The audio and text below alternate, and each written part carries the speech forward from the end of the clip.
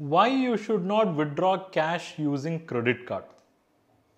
All of us will be having debit card as well as credit card, but if you're going to use credit card for withdrawing cash, unless and until it is extremely emergency, if you're going to use credit card for withdrawing cash, then you end up paying huge interest.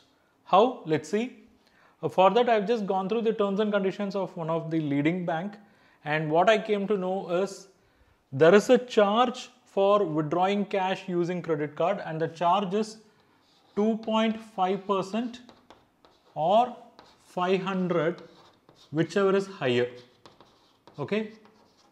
It means for 500 they said minimum. Minimum charge will be either 500 or 2.5 percentage. Okay now let's say you are going to withdraw 10000 rupees using your credit card you are going to withdraw 10000 rupees so your withdrawal charges will be 2.5 percent of 10000 which is 250 or the minimum 500. So the withdrawal charges is 500. You have to pay this. And the same terms and conditions says that finance charges will be applied from the day of withdrawal itself. So that 50 days credit, 40 days credit and all you will not get. Okay. Finance charges applicable from the day of credit itself. It means, let's say you are going to make payment of this 10,000 on the 30th day, then on this 10,000, you have to pay the finance charge of 3.5% which is per month. You have to pay finance charge of 3.5% per month. So it works out to how much? 10,000 into 3.5%, it is 350. Actually, there is an another way for calculating this.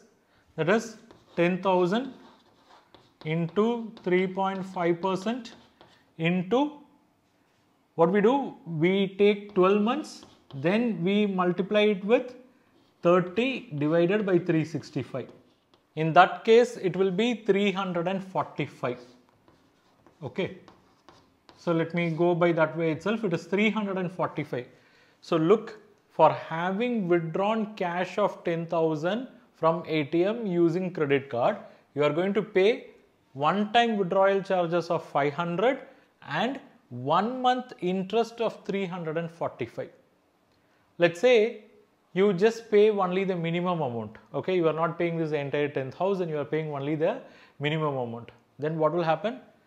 You continue paying this interest for subsequent months also. Let's say uh, for one year this happens, this continues.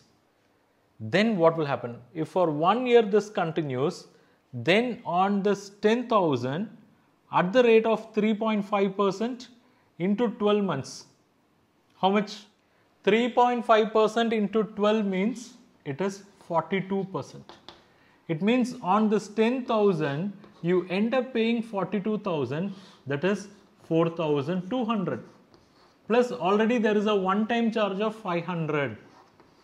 So for a year you end up paying 4700 for having withdrawn 10000 it means 4700 on 10000